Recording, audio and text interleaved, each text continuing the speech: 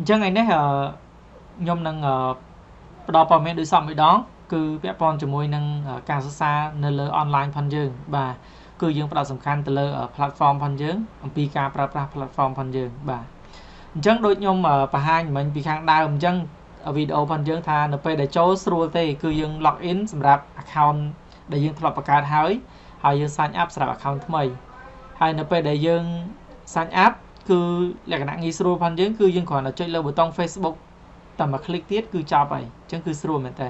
ហើយបើសិនជាយើង log in បើសិនយើង log in តាម Facebook ចុចលើទៅប៊ូតុង Facebook ហ្នឹងទៅបានហើយប៉ុន្តែក៏យើងអាចសិតមានសិទ្ធិបង្កើតតាម email ដែរណាបើសិនជាយើងបង្កើតតាម email បញ្ចូល email ផងយើង password ផងយើងហើយ log in ទៅហើយយើងអាច reset password អាចអីបានបាទអញ្ចឹងនេះជា system ផងយើងដែលយើងអាចធ្វើការសិក្សាបានបាទអញ្ចឹងនេះជា account ផងយើងបន្ទាប់ពីយើង log in ហើយខាងក្រោមនេះជាវគ្គសិក្សាដែលយើងបានទិញអញ្ចឹងអ្នកទាំងគ្នាធ្លាប់ទិញវគ្គសិក្សាពីមុនប្រហែលមកគឺមាននៅនឹងទាំងអស់ហើយអ្នកទាំងគ្នាធ្លាប់ order ទិញអស់លុយប៉ុន្មានអីប៉ុន្មាននៅហ្នឹងគឺមានជា history ដែលជា profile របស់អ្នកទាំងគ្នាដែល profile នេះគឺអ្នកទាំងគ្នាអាចប្រើប្រាស់បានរហូតបាទអញ្ចឹងអឺនេះគឺជា platform ផងយើងដែលខ្ញុំសង្ឃឹមថាអ្នកទាំងគ្នាប្រើប្រាស់បានច្រើនបាទអញ្ចឹងអឺដូចខ្ញុំបញ្ជាក់បញ្ជាក់ទៀតសូមមកប្រើប្រាស់ដើម្បីឲ្យ យើងទាំងអស់គ្នាបានតាន់មេរៀនហើយយើងឈានទៅដល់ការប្រឡងបាទអញ្ចឹងថ្ងៃនេះខ្ញុំនឹងធ្វើការបတ်បង្ហាញអំពីអឺ K Academy ផាន់យើងបន្តិចហើយយើងនឹងចូលមេរៀនផាន់យើងតទៀតបាទអញ្ចឹងថ្ងៃនេះគឺអឺយើងនឹង present អំពីអឺការសិក្សាជំនាញកុំព្យូទ័រតាមប្រព័ន្ធអនឡាញជាមួយនឹងគេហទំព័រ www.kacademy.me បាទអញ្ចឹងមកដល់ម៉ោងនេះ cost ដែលយើង available មានន័យថាដែលយើងអាចទទួលសិស្សចូលរៀននិងដឹកដៃធ្វើម៉េចឲ្យអ្នកតគ្នាទទួលបានចំណេះបាទក្នុងការត្រៀមខ្លួនក្នុងការឆ្លើយនឹងសំណួររបស់អ្នកតគ្នាគឺនៅលើចំនួន4វគ្គបាទអញ្ចឹង cost available ផងយើងមានវគ្គទី1គឺវគ្គ digital marketing បាទ digital marketing ដែលយើងប្រើប្រាស់ tool មួយគឺ tool Facebook មានន័យថានៅក្នុងវគ្គ digital marketing ដែលយើងបង្រៀននេះគឺមានច្រើន ប៉ុន្តែយើងយកមក focus ទៅលើវគ្គអឺ Facebook មួយទេមានថាទៅ tool Facebook មួយទេបាទអញ្ចឹងដូចអ្នកនរគ្នាធ្លាប់បានសិក្សាពីមុន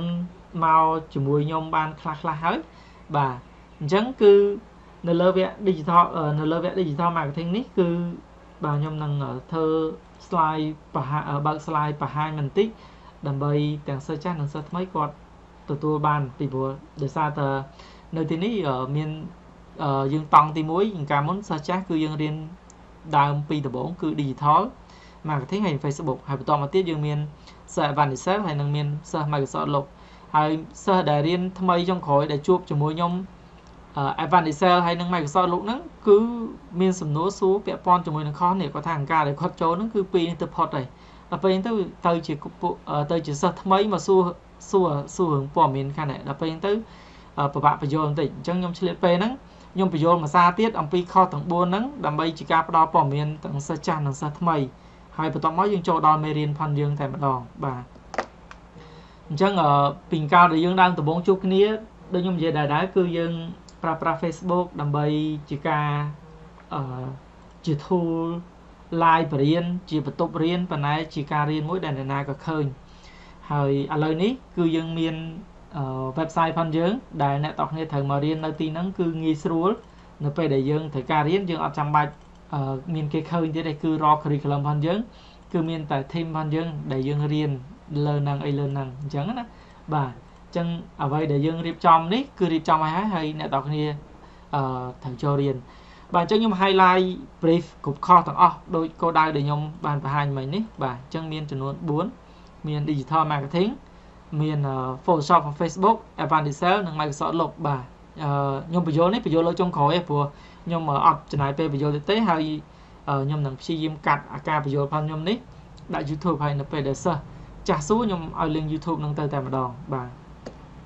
អញ្ចឹងពាក់ព័ន្ធជាមួយនឹងវគ្គ Digital Marketing ដូចធ្លាប់រៀនពីមុនមកហើយនេះយើង cover លើចំណុចសំខាន់ទាំងអស់នេះគឺយើងមានការ introduction ផងយើងហើយបន្តមកទៀតយើងសិក្សាលើ Digital Marketing Tool ហើយ digital marketing tool មានច្រើនដែលយើងរៀនឲ្យស្គាល់ហើយដល់ពេលយើងយកអនុវត្តធំគឺលើ Facebook for Business ហើយយើងនឹងសិក្សាមួយទៀតគឺរបៀបការ lead sale តាមអនឡាញបាទអញ្ចឹងនេះគឺជាវគ្គ digital marketing សម្រាប់សិស្ស digital marketing ដែលមានចម្ងល់សួរនេះបាទអញ្ចឹងគឺមានថា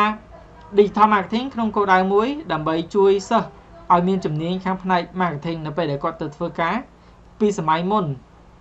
มันមានទេ position digital marketing ប៉ុន្តែឥឡូវនេះ position digital marketing ភាគច្រើនគឺមានភាគច្រើនគឺមានអញ្ចឹងការងារមួយចំនួនជាការងារថ្មី ដែលសង្គមពេលមកបរិបត្តិទៅមកបរិបត្តិចេះតែមាន position ថ្មីថ្មីថ្មីថ្មីអញ្ចឹង10ឆ្នាំឬ5 10ឆ្នាំក្រោយទៀតមាន position ថ្មីទៀតដែរអញ្ចឹងណាបាទអញ្ចឹងអ្នកដែលនៅ position ចេះចាស់ត្រូវតែ update អវត្តនភាពអញ្ចឹងខ្ញុំរៀបចំវគ្គ digital marketing នេះឡើងដើម្បីឲ្យសិស្សមាននៅពេលដែលចប់គឺគាត់ អាចមានសមត្ថភាព apply យកវគ្គ digital marketing នេះធ្វើលើ position ហ្នឹងនិងមួយទៀតគឺវគ្គ digital marketing នេះក្នុងគោលដៅមួយជួយទៅដល់អ្នកដែលគាត់មានបំណងក្នុងការបើកអាជីវកម្មនិងទៅជួយ SME ខ្នាតតូចអាជីវកម្មខ្នាតតូចបាទអញ្ចឹងនៅក្នុងនេះគឺយើងនឹងសិក្សាអំពី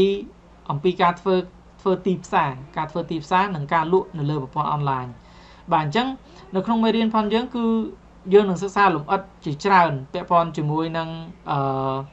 បាទពាក់ព័ន្ធជាមួយនឹង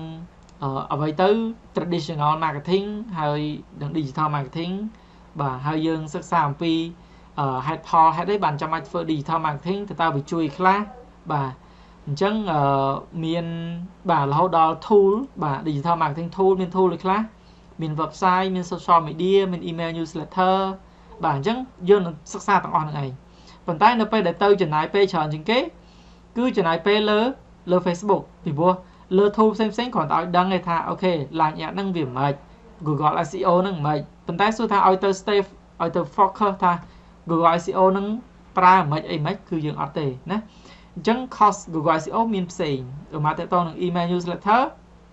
មាន cost ផ្សេងទៀតទៅបាទ ប៉ុន្តែនៅទីនេះបញ្យល់ឲ្យដឹងថា email newsletter ប្រើដើម្បីធ្វើអីហើយគេប្រើមិនអីមិនអញ្ចឹងយើងដឹងអញ្ចឹងក្នុងនាមយើងជាអ្នកបើអាជីវកម្មខ្លួនឯងមួយយើងដឹងថាតើខ្ញុំគួរប្រើ tool អីអញ្ចឹងណាអូខេខ្ញុំគួរប្រើ email newsletter ខ្ញុំគួរប្រើ Google SEO អត់អីអត់ពីមុនយកដែរដឹងឯងថា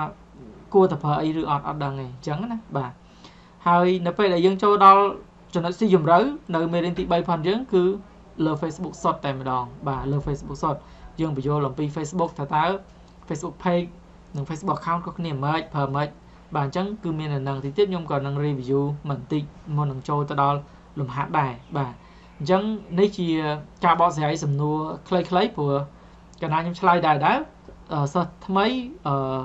គាត់ចង់ដឹងប៉ុន្តែសិស្សចាស់គាត់បានដឹងហើយអញ្ចឹងវាវារៀងទៅមុខទៅក្រោយអញ្ចឹងណាអញ្ចឹងដូចខ្ញុំបញ្ជាក់អញ្ចឹងខ្ញុំឆ្លើយហ្នឹងណាជាការឆ្លើយចុងក្រោយហើយហើយបន្តមកទៀតខ្ញុំឡើង present ពី course មួយមួយហើយអញ្ចឹងណាខ្ញុំនឹងកាត់ អឺអ្វីដែលខ្ញុំ present ចុងក្រោយខ្ញុំយកទៅដាក់លើ YouTube ទៅឬក៏ខ្ញុំធ្វើដាក់លើ YouTube ហ្មងអញ្ចឹងឲ្យសិស្សដែលគាត់សួរសំណួរគាត់សួរអញ្ចឹងណាបាទអញ្ចឹងនឹងគឺជាវគ្គផ្នែកអឺ digital marketing តម្លៃវគ្គមួយទៀតគឺវគ្គ Photoshop for Facebook advertising គឺយើងសិក្សាអំពីការប្រើប្រាស់ tool គឺយើងរៀនលើកម្មវិធី Photoshop រៀនកាន់ tool រៀន design អញ្ចឹងជាទូទៅខ្ញុំតែងតែសង្កេតថាសិស្សដែលរៀនវគ្គ digital marketing គឺចាំបាច់ត្រូវតែរៀនវគ្គ Photoshop ទោះបីជាគាត់ចង់បើអាជីវកម្មខ្លួនឯងទោះបីជាគាត់ចង់ទៅធ្វើការក៏ដោយពីព្រោះអ្នក apply Photoshop Photoshop digital marketing នេះបើគាត់ចេះ Photoshop ទេគឺមិនអាចជាប់បានទេព្រោះនៅស្រុកខ្មែរយើងមកដល់ម៉ោងនេះគាត់អត់ចង់ប្រើ Photoshop digital marketing មួយហើយ graphic designer មួយទៀតទេ អញ្ចឹងអ្នកដែលគាត់រៀនវគ្គ digital marketing ត្រូវអភិវឌ្ឍសមត្ថភាពមករៀនវគ្គ Photoshop ហើយផ្ទុយទៅវិញអ្នកដែលចេះជំនាញ Photoshop ប្រហែលហ្នឹងបើគាត់អត់ចេះ digital marketing គឺគាត់នៅតែក្នុង position មួយគឺ graphic designer កាលណាយើងនៅ position graphic designer ប្រាក់ខែយើងវាបាក់ឡើងវានៅបានត្រឹមតែ250 300ហ្នឹងអស់ហើយឡើងទៅណារួចទេប៉ុន្តែនៅពេលយើងទៅជាវគ្គទៅយើងរៀនវគ្គ digital marketing មួយទៀតអញ្ចឹង designer skill ផងយើងខ្លាំងទៀតពេលហ្នឹងប្រាក់ខែយើងឡើងហើយព្រោះយើងទៅជាអឺ ខាង marketing មួយដែលយើងចេះ produce content អញ្ចឹងណាហើយនៅពេលយើងចេះថតរូបចេះអីទៀតយើងចេះឡើងទៅឡើងទៅហើយបាទអញ្ចឹងនេះគឺជាអឺការអវឌ្ឍនភាពមួយដែលអ្នកទាំងគ្នាព្យាយាមមើលខ្លួនឯងទៅចង់ទៅ position ខាងណាណាអញ្ចឹងសម្រួចនៅទីនេះគឺខ្ញុំចាប់ដើមសម្រួចចឹងសិនប៉ុន្តែទៅមុខទីទៀតគឺដូចខ្ញុំបញ្ជាក់អញ្ចឹងទីទៀត K Academy ចេញវគ្គផ្សេងផ្សេងមកហើយបាទមានវគ្គ Verticel សម្រាប់ basic ធម្មតាបាទ វគ្គអឺបាទ PowerPoint សម្រាប់បំពេញបន្ថែមបាទហើយខ្ញុំមានវគ្គសម្រាប់តកតងទៅនឹង how apply new job ហ្នឹងធ្វើម៉េចដើម្បីការ apply new job ហ្នឹងគឺ free ទៅអ្នកនរគ្នាអ្នកណាក៏នឹងទទួលបានដែរវគ្គហ្នឹងអាចចុចទៅគឺ free ទេហើយបន្តទៀតគឺយើងនឹងទៅសម្រាប់ខ្លួនខ្ញុំបាទខុសខុសផ្សេងផ្សេងទៀតគ្រូផ្សេងផ្សេងគាត់ចេញប៉ុន្តែសម្រាប់ខ្ញុំទៅមុខទៀតខ្ញុំនឹងចេញ course Microsoft Access level 1 level 2សម្រាប់ជួយទៅសិស្សដែលគាត់ឆ្លាញ់តាក់ទង database ហើយសិស្ស ដែលគាត់នៅខេត្តគាត់អត់សូវយល់អំពី database គាត់ចង់ថាតើបង្កើត database ហ្នឹងអីមិនបាទហើយខ្ញុំនឹងចេញវគ្គមួយទៀតគឺតាក់ទងនឹង QuickBook QuickBook គឺជួយទៅដល់សិស្សសានុសិស្សនិងអ្នកដែលគាត់កំពុងធ្វើការហើយប៉ុន្តែភាគច្រើនគឺគាត់អត់ចេះបាទភាគច្រើនគាត់រៀនចប់គណនេយ្យប៉ុន្តែគាត់អត់ចេះ QuickBook បាទអញ្ចឹង cost ដែលចេញបន្តគឺពាក់ព័ន្ធជាមួយនឹង QuickBook បាទអញ្ចឹង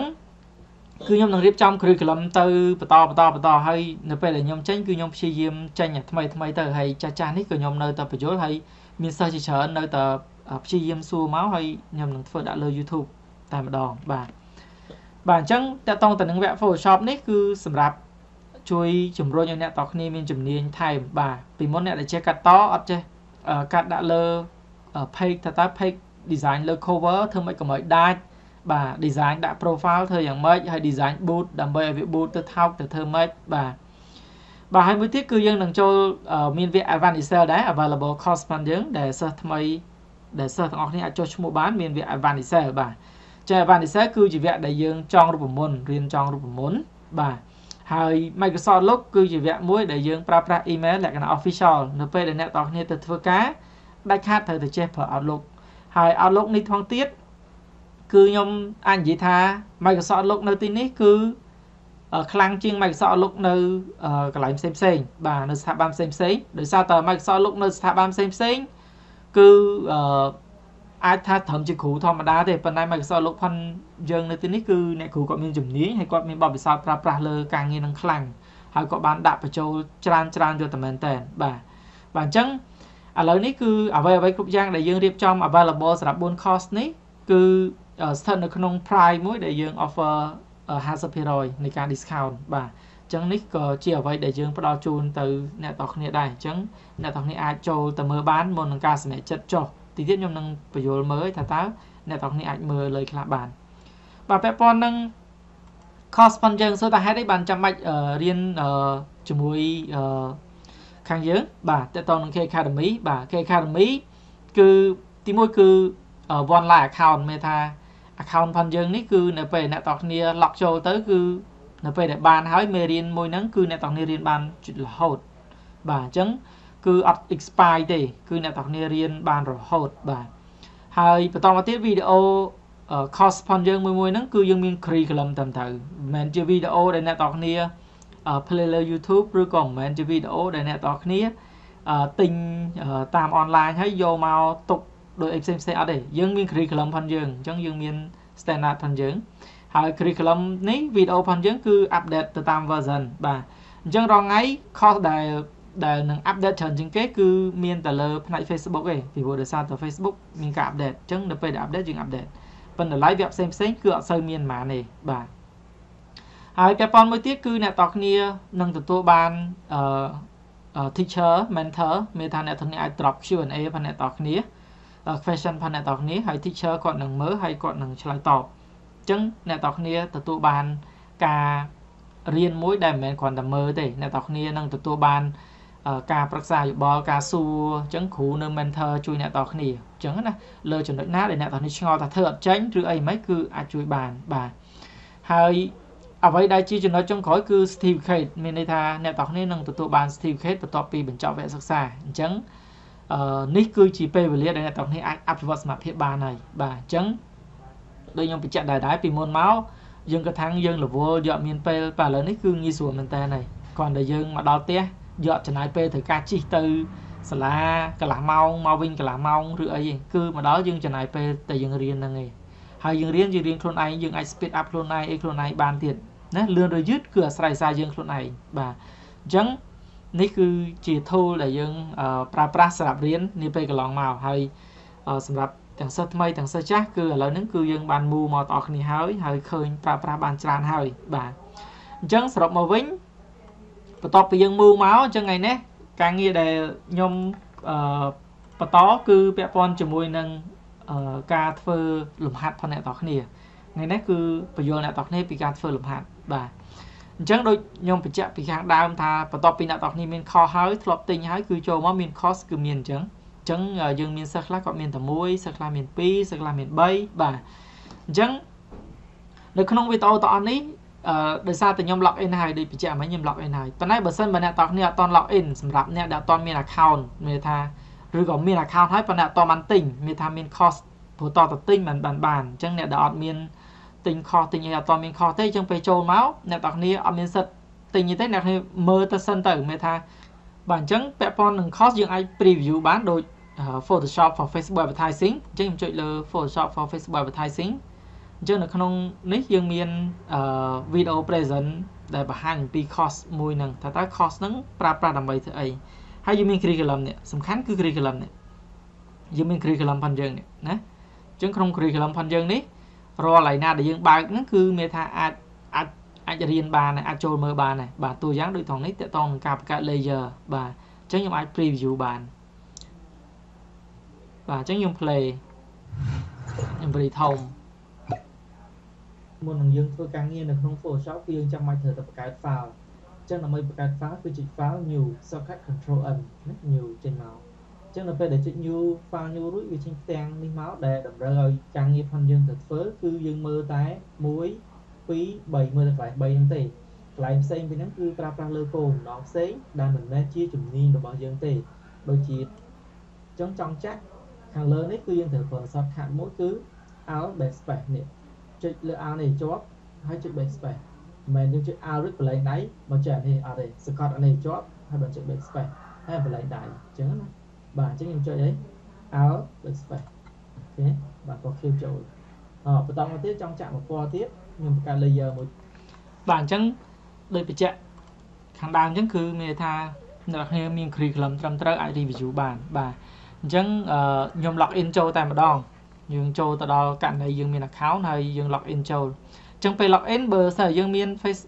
Facebook connect តាម Facebook គ្រាន់ click ទៅគឺចូលហើយហើយប្រើ email password ធម្មតាបាទអញ្ចឹងចូលមកដល់ហើយនេះជាគណនីផាន់យើងបាទអញ្ចឹងអ្នកទាំងគ្នាអឺ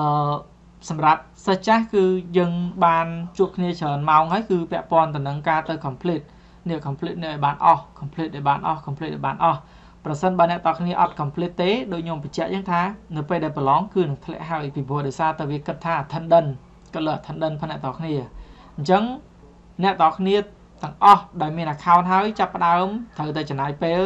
អង្គុយរៀនទាំងអស់មើលវីដេអូរៀនទាំងអស់បាទអញ្ចឹងពីដើមមកគឺត្រូវមើលទាំងអស់ពីព្រោះវាចាប់វានឹងចាប់ឃើញទៅកន្លែងណាតិចតិចគឺមានថាមើលហើយកន្លែងណាតិចត្រូវតែមើលតទៀតទៅតែអ្នកទាំងគ្នាអត់មើលគឺជួបបញ្ហាពេលប្រឡងធ្លាក់បាទអញ្ចឹងការមើលគឺបានបញ្យល់ពី3ដងហើយហើយអញ្ចឹងឥឡូវអ្វីដែលលើសពីហ្នឹងគឺពាក់ព័ន្ធជាមួយនឹងការធ្វើលំហាត់ត្រៀមប្រឡង មានថានៅក្នុងមេរៀនផងយើងយើងតម្លាក់អញ្ចឹងមកយើងឃើញកន្លែងណាមានលំហាត់ដាក់អ្នកលំហាត់បាទកន្លែងណាមានលំហាត់គឺមានអ្នកលំហាត់ five question បាទអញ្ចឹងកន្លែងណាទៀតនេះលំហាត់ទី2នេះណាសិលលំហាត់ត្រៀមប្រឡងហ្នឹងបាទអញ្ចឹងអ្នកទាំងនេះត្រូវតែមកធ្វើលំហាត់ទាំងអស់ហ្នឹងបើសិនជាអ្នកទាំងនេះអត់ធ្វើលំហាត់ហ្នឹងទេនៅពេលដែលប្រឡង final អ្នកទាំងនេះក៏ធ្លាក់ដែរពីព្រោះអ្នកទាំងនេះបានធ្វើលំហាត់នេះទី1បាត់បន្ទុ ទី2អត់មានអ្វីដែលជាជំនួយស្មារតីផងអ្នកតគ្នាអញ្ចឹងនៅពេលអត់មានជំនួយស្មារតីអ្នកឲ្យរៀនពីមុនមកមិនមែនប្រកាសថាចេះទេអញ្ចឹងហើយបានជាខ្ញុំដាក់បន្ទុកមែនតើទៅលើសិស្សចាស់ជាពិសេសសិស្សចាស់សិស្សចាស់គាត់អាងថាគាត់រៀនលើ Facebook ហើយស្ដាប់ Facebook Live ហើយអញ្ចឹងគាត់អត់ចង់មកមើលអានោះទៀតទេដូចខ្ញុំបញ្ជាក់អញ្ចឹងចាំបាច់ត្រូវតែមើលមកមើលមកសុខចិត្ត up speed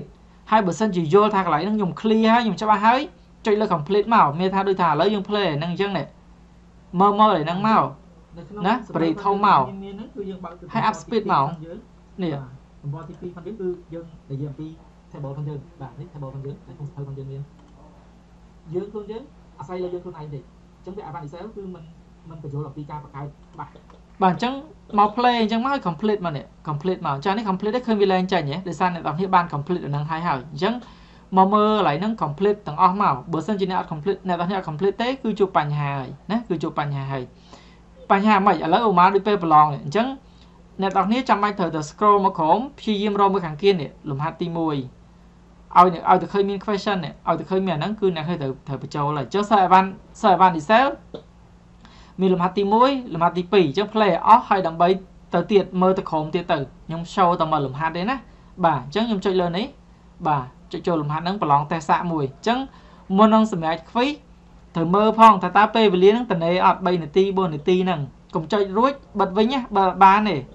អញ្ចឹងដូចខ្ញុំបញ្ជាក់ពីខាងដើមគឺអ្នកតគ្នាចាំបាច់ត្រូវតែមកមើលខាងគៀននេះអញ្ចឹងជាទូទៅនៅមេរៀនខាងដើមអត់មានទេ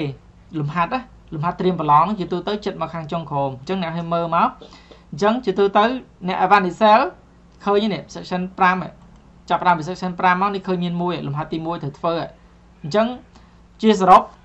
play ទាំងអស់ឡើងវិញ complete ហើយបន្ទាប់មកចាំធ្វើលំហាត់មកមកដល់ធ្វើដល់ឯណាដល់លំហាត់ឧមានេះមកដល់ if នេះ if over នេះអ្នកនេះ play play ហើយអញ្ចឹងអឺទៅគឺឲ្យខ្ញុំគាត់ទៅចាំ4ម៉ោងទៅមកឲ្យមិនមកឲ្យមកទៅទីទៅ OT ដែរទេហើយម៉ោងគាត់ទីក៏ឲ្យខ្ញុំម៉ោង12ដែរបាទអញ្ចឹងម៉ោងគាត់ចូលប្រហែលគាត់ចូលម៉ោង7ទៅចាំម៉ោង8ម៉ោង9ម៉ោង10ម៉ោង14ម៉ោងតែខាងខាងនេះខាងទី1ទី2បាន10ឡើងបាន0 4ម៉ោងមិនអត់អញ្ចឹងគឺខ្ញុំយកហើយបើចំណុចមួយជា over ចេញដក over ចូលនេះអញ្ចឹងអាហ្នឹង advanced cell ផងយើងអញ្ចឹងយើងមកមើលចប់មកយើង complete មកហើយយើង next មកនេះអញ្ចឹង next វាទៅដល់ប្រឡងខ្លួនឯងគេអញ្ចឹងប្រសិនបើអ្នកតោះគ្នាធ្វើមួយ step មួយ step មួយមេរៀនមួយមេរៀនមួយមេរៀនវាអត់មានលក្ខខណ្ឌណាមួយដែលអ្នកតោះគ្នាម្លងលំហាត់ទេអញ្ចឹង នៅពេលអ្នកទាំងនេះ complete វីដេអូមួយមួយមួយមួយ attendance អ្នកទាំងនេះ complete អញ្ចឹងប្រឡងបានបន្ទុកមកតង់វាអត់អីទេតើអ្នកអត់តើអ្នកទាំងនេះអត់ complete និចនិចអញ្ចឹងទេនៅពេល attendance ប្រឡងចាប់ទុកថាអ្នកទាំងនេះរៀនម្លងមេរៀនប្រឈមធ្លាក់ឃើញទេហើយមួយទៀតនៅពេលអ្នកទាំងនេះចុចម្លងអត់បានធ្វើលំហាត់នៅពេលទៅប្រឡងបាត់បន្ទុកហើយនៅពេលទៅប្រឡងអត់បានមានសំណួរជួយទៅដល់ឆៅឆៅធ្លាក់ទៀតឃើញវាពិបាកណា ចឹងឃើញ complete មកហើយនិចមកឃើញដល់ប្រឡងវាទៅដល់ប្រឡងខ្លួនឯងហ្មងចឹងយកអត់ភ័យទេចឹងអ្វីដែលខ្ញុំបារម្ភបារម្ភខ្លាចតែសិស្សដែលគាត់អត់សូវបានមក follow curriculum ផងយើងទេចឹងបានជាខំប្រឹងធ្វើវីដេអូ live រៀងរាល់យប់នេះគឺប្រាប់ឲ្យប្រាប់ទៀតប្រាប់ឲ្យប្រាប់ទៀតបាទដាល់ដាល់ទេ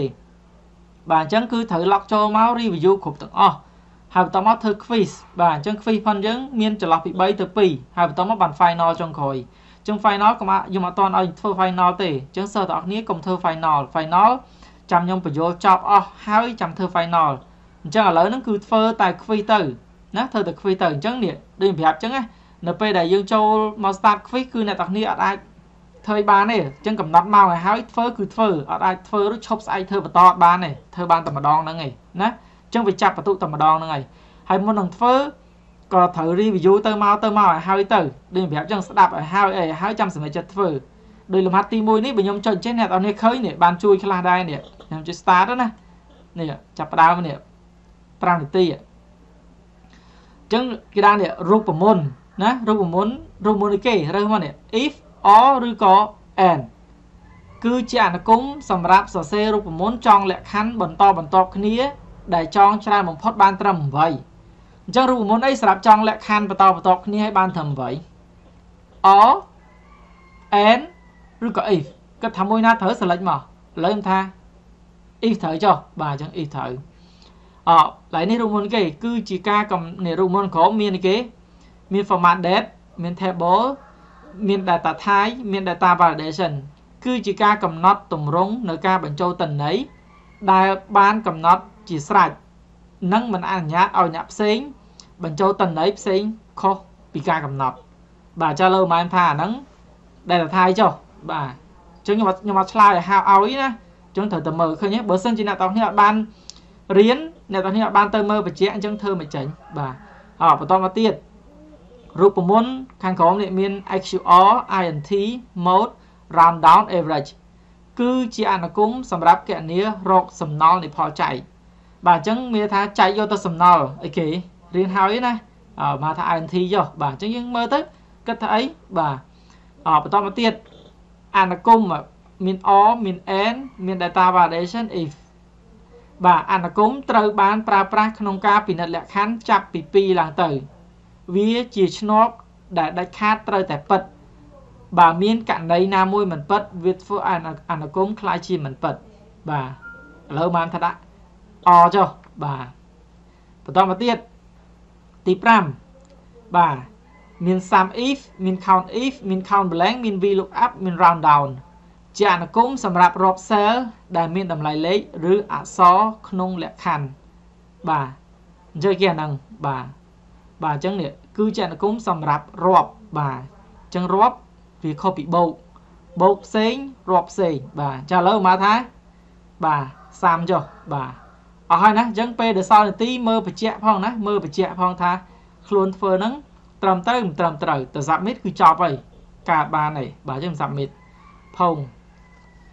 បាទ passing grade 0បាន20%អញ្ចឹង20%យកពីនឹងយកទៅបូកដែលតាមពិតត្រូវអ្នកទាំងនេះទទួលបាន100%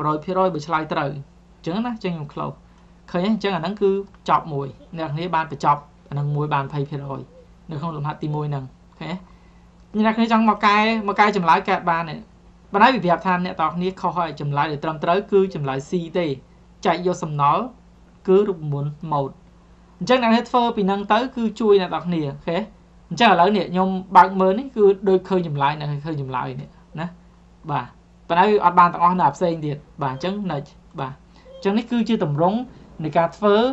បែបហ្នឹងពីព្រោះខ្ញុំបានបញ្យល់លើកមុនពីការរៀនហើយ ប៉ុន្តែការរៀនហ្នឹងក៏នៅឃើញមានចំនួនមិនទាន់គ្រប់គ្រប់សិស្សដែរអញ្ចឹងសិស្សណាដែលអត់ទាន់រៀនប្រៀបដូចជាអ្នកទាំងគ្នាកំពុងតែជពាក់លំហាត់ខ្ញុំហើយអញ្ចឹងពីមុនរៀនលើអនឡាញគឺអ្នកទាំងគ្នាជពាក់លំហាត់បាទឥឡូវរៀនលើនេះគឺអ្នកទាំងគ្នាមកជពាក់ attendance បាទអញ្ចឹងទី1មកធ្វើ attendance តាមរយៈ play video បន្ទាប់ពី play video ហើយគឺចាប់ផ្ដើមមកប្រឡង quiz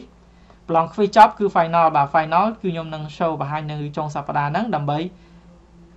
ឲ្យអ្នកទាំងគ្នាប្រឡងបញ្ចប់ហើយយកសញ្ញាបត្របាទអូខេអញ្ចឹងតើតងតនឹងគ្រប់កន្លែងទាំងអស់គ្រប់មេរៀនទាំងអស់នៅពេលអ្នកទាំងគ្នារៀនលើចំណុចណាមួយអ្នកទាំងគ្នាមានចម្ងល់មានចម្ងល់ឆ្ងល់នេះនៅខាងស្ដាំនេះអ្នកទាំងគ្នាអាចអាចស្វែងរកសំណួរមួយចំនួនដែលមានស្រាប់មានថាសំណួរមួយចំនួនគឺមានស្រាប់ប៉ុន្តែពេលខ្លះអ្នកទាំងគ្នាចម្ងល់សួរដោយខ្លួនឯងគឺ my question នេះមកនេះអ្នកគ្នាអាច add comment នៅហ្នឹងអញ្ចឹងជាទូទៅ គ្រូកាន់មុខវិជ្ជាណាអ្នកគ្នា add មកគឺមកដល់គ្រូមុខវិជ្ជាហ្នឹងហើយអញ្ចឹងគាត់នឹងឆ្លើយតបហើយបាទអញ្ចឹងនេះគឺជាអ្វីដែលអ្នកទាំងគ្នាអាចប្រើប្រាស់បានតម្លៃវគ្គផ្សេងផ្សេងទៀតក៏ដូចគ្នាដែរឥឡូវខ្ញុំ back ទៅវិញបាទអញ្ចឹងមានសិស្សដូចសិស្សផ្នែក Photoshop ក៏ត្រូវតែមានសំណួរមានចម្លើយដូចគ្នាដែរបាទអញ្ចឹងនៅក្នុង curriculum អ្នកនរនេះគឺមានបាទអញ្ចឹងនៅពេលដែលយើងនេះមានលំហាត់នេះមានលំហាត់ខាងក្រោមមានលំហាត់បាទលំហាត់ទី3 បាទពាក់ព័ន្ធទៅនឹងការបញ្ចូលល័យបាទនេះមានលំហាត់ទៀតមាន6 question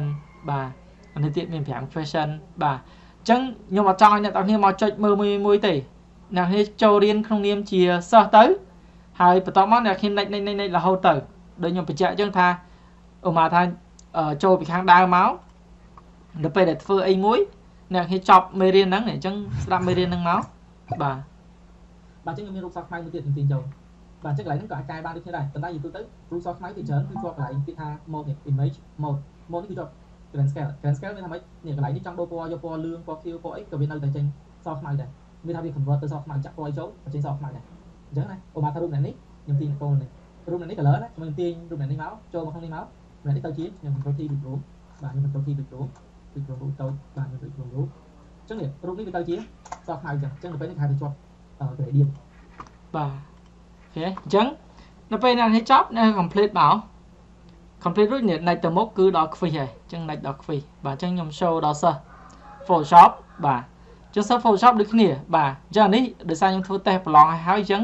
អត់មានសិទ្ធកែអត់មានសិទ្ធកែអញ្ចឹងណាបាទអត់មានសិទ្ធកែ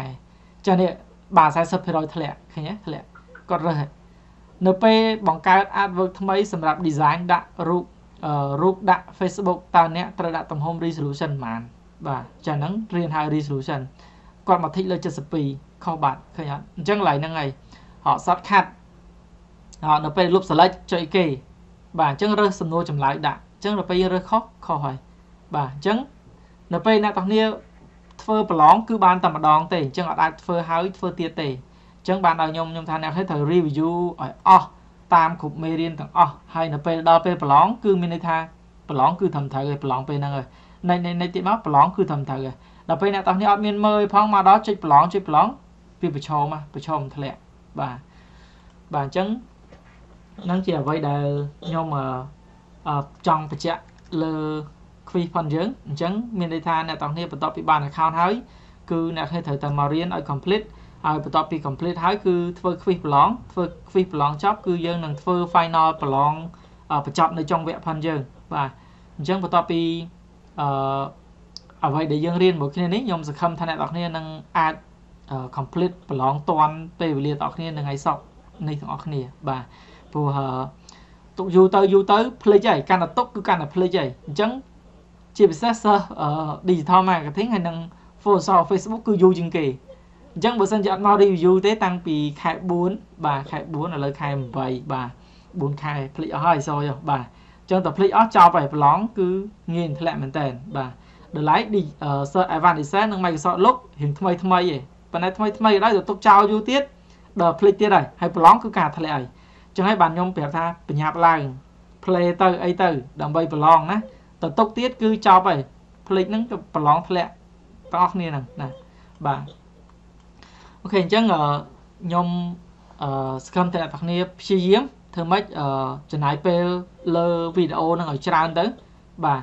ហើយមានចម្ងល់មានសំណួរអាចសួរបាន នៅក្នុងផងយើងនេះបាទលែងសួរលើ Facebook លែងសួរទៀតហើយគឺយើងសួរក្នុងអឺ question ផងយើងនៅក្នុងថ្នាក់ផងយើងអញ្ចឹងការរៀនផងយើងគឺនៅក្នុងថ្នាក់ផងយើងហើយអ្នកទាំងគ្នាមាន account private ផងអ្នកទាំងគ្នាដែលអាចតាមដានការសិក្សាផងអ្នកទាំងគ្នា បាទគ្រូក៏អាចឃើញការសិក្សាផងអ្នកទាំងគ្នាដែរបាទ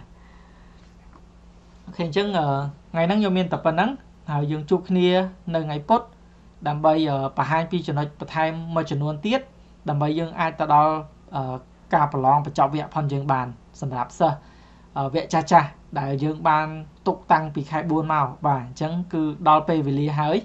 ដល់ពេលវេលាដែលយើងត្រូវបញ្ចប់ការសារផងយើងដើម្បីយកសញ្ញាបត្រហើយដោយបញ្ជាក់ account អ្នកទាំងនេះគឺប្រើប្រាស់បានរហូតវីដេអូហ្នឹងគឺអាចចូលមើលបានរហូតណាបាទអូខេអញ្ចឹង ថ្ងៃហ្នឹងមានតែប៉ុណ្្នឹងចាំជួបគ្នានៅថ្ងៃពុធដើម្បីបន្តពីមេរៀនផងយើងថាអឺត្រូវធ្វើអីធ្វើអីតទៀតណា